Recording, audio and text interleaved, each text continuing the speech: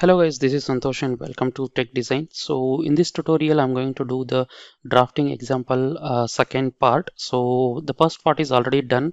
So if you're not checked that, go to playlist and um, I'll, give the link in the description for the playlist. So you can just go to there and uh, check that part one. So, so part one is very simple uh, which is having a block with some holes and uh, we have done just drafting for this.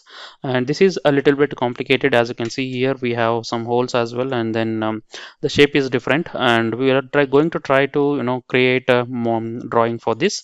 And as you can see here the drawing file is over here. So there are some dimensions. We are going to create a dimensions and then uh, uh whatever the you know features frame we have here all those things uh, we are just going to provide it. And I will just show you how we can achieve this uh, drawing. And uh, don't go into into uh, you know um, technical into this what are the, what are the position why they are given datum a b and everything. So it is just a practice model. It may not be correct in technical okay so now what I'll do is I'll just go to model here. So this model is already ready. Uh, I have created one sketch and I extruded this. And now we'll go to drawing workbench by using control shift D. So this will take you to a drafting workbench. Since I already created a border uh, so it is not asking me to create it again. So we'll directly go to uh, create a base view so we'll just go to base view. As you can see here this is my base view. And uh, you can see there are only two views uh, which is this one and there is a section of AA so we are going to create this on a little bit uh, top side. So you can just click here. And uh, now uh, it is asking me a projection view. So we don't need a projection view. So I'll just cancel this. And uh, we'll go to section view here. So this is a section sorry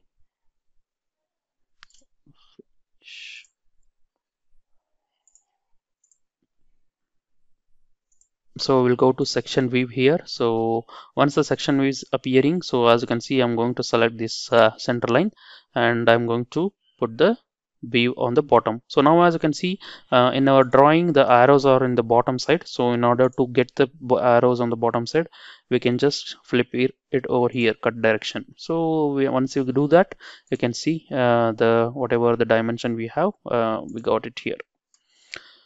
So section view is uh, has appeared. So if you want to increase this you know section line you can just double click on this and you can just move it uh, uh, either side. Uh, so it will come. And also if you want to move this letter you can just move it over here and you can just place it. And uh, then uh, we can also move this uh, whatever the text we have section AA okay so always make sure that uh, the drawing should be updated. So now as you can see here if there is a red mark like this so it is not updated. So we need to update it by clicking over here. So once you click here uh, everything will be updated. So now you can see uh, all the you know dimensions and everything whatever there uh, which was missing it will be updated once you click it. So now uh, you can see here there are some dimensions. So we can see this is r8 and radius 22 and then uh, again this is the diameter. So these two dimensions and then other dimensions we can give. Then later in the final we can just give these uh, feature control frames. So now what I'll do is I'll just give a radius of uh, 8 here. So go to radius and I'm just going to select this. So now as you can see uh, we are able to see the diameter. So we don't need a diameter. So we can just go to here or else there is a window here. So which you can switch to radius okay. And then we also have this arrow should be outside. So what I'll do is I'll just go to settings and uh, here line and arrow. So it should be outside. Okay. You can just close this and whatever the dimension is there you can place it over here. Okay. So this is r8 and there is a radius of 22 so go to again same thing. So once you have not closed this window so whatever the you know um, so characteristics that we used for R8 the same will be carried over. What are the characteristics? So nothing but uh, whether it is a diameter or a radius or how you want to place whether it is uh, inside uh, arrow line or outside arrow line so everything whatever it is there here everything will be carried. So we can just place it over here. Okay so now uh, we can see here um, there is uh, some basic dimensions over here. So we can give these basic dimensions and then we can go to control frame. Okay so so go to a linear dimension. And uh, this dimension is 6 mm. So between these two there is a 6 mm. Okay. And uh, between this center line to this center line. So yeah so it is a linear dimension. Let me give the linear dimension between this point to this point so it is a basic dimension. So what I'll do is I'll just go to basic dimension and I'll just place this. And also we have some datum here. So this is the datum A. So go to datum A and uh, this is the place. Okay. So this is datum A so now as you can see here these dimensions are given and this is also given this is also given. And we can see here control frames and these two control frames I'm going to give it now. And now let me go to this control frame here and this is a terminating object. And this I'm going to select. And here you can see uh, whatever it is there it should be changed and it should be parallelism. And then uh, we have uh, nothing here and it should be 0.03 and we don't have a modifier and it should be removed. These two should be removed. So this is what we have. I'll just place it here over here. Okay so now as you can see this is what we have done. And we have a flatness here 0.03 so let me go to feature control frame and select a terminating object. Okay. And we have a flatness here. Okay. It should be 0.03 and there is no datum. Okay. So this is what we have. Okay. So now uh, we have these two dimensions are left. So first we'll come to this and diameter of 30 and some uh, datum control features over here. So let me give a dimension first and this is the circle and it should be a radius uh, sorry diameter. So I'll just switch it to diameter and the diameter should be from inside. So let me go to arrow line here. Sorry. Okay so it is inside now. So let me switch to here. Okay.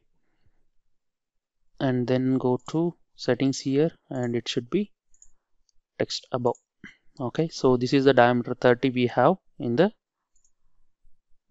drawing. Okay so let me give this dimension. So now we have this feature control frame. So let me give that. So feature control frame and we have a position and then uh, the diameter of uh, 0.2 and with datum A and with datum B. Okay so this is what the we have. So we can just place it over here. So now as you can see here whatever we have is everything done. So now since we are given associativity so once you move the diameter uh, even whatever we have a feature control frame that will be moved. So now we need to provide a dimension for this. So let us go to radial dimension here and everything is properly defined and we just need to provide these settings. So it should be along this and here it is okay? So now uh, it is a diameter of 8 and it should be multiplied by 2 so we'll just give 2x over here. And we also have a tolerance here you can see. There is a tolerance given. So I'm not sure about what is the tolerance. Let me give 0.1 so plus 0.1 and minus 0.1 so we'll go to here and provide plus 0.1 and minus 0.1 so we can just keep it as it is and we'll just place this. So once you place this we just need to give feature control frame. So now our feature control frame is this. So go to position and then a diameter of uh, 0.1 and we have a modifier here. So go to create a modifier and with a. And we don't have this okay. So this is what we have. So we can just place it over here. Okay. So while placing you can see so don't randomly place over here. So you just need to hover over here. So it will create a simple box. So it is nothing but it will be associative with uh, the dimension. So you can now place it. So once this is done uh, we can also see there is a datum of b. So let me go to datum feature and create b and this is my object. Okay. So I think that's all we have here in this dimension nothing else. So everything is covered over here. So hope you enjoyed this tutorial guys. So if you have any doubts please comment in the section below. And um, I'll try to answer them. Thank you guys